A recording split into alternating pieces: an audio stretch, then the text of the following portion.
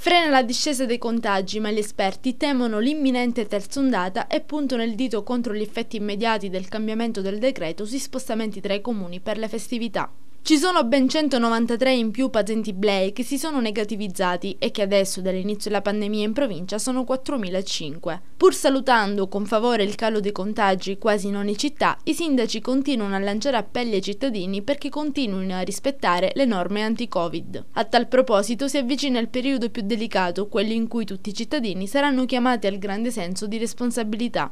Le festività natalizie non devono far perdere di vista la necessità di fare di tutto per evitare la diffusione di contagio. Nelle scorse ore si era tirato un sospiro di sollievo, visto la giornata senza decessi e guariti in netto aumento, ma rilassarsi forse non c'è più quasi concesso. Infatti è morto nel primo pomeriggio Saverio Armenia, l'amato infermiere di 50 anni colpito dal Covid del Giovanni Paolo II, residente a Pozzallo. Armenia avrebbe compiuto il 29 dicembre prossimo il cinquantesimo anno di vita. Lavorava come dipendente ASP all'ospedale Giovanni Paolo II di Ragusa e gli è morto oggi da paziente. È il 130 morto di Covid in provincia di Ragusa. Lascia la moglie e due bambini. Si tratta del secondo infermiere della provincia di Ragusa morto per Covid. A metà novembre era morto l'infermiere Gianni Russo, 58 anni in servizio all'ospedale di Vittoria. Noi ci uniamo al dolore dei familiari. Condoglianze dalla redazione e dal gruppo editoriale di Canale 74.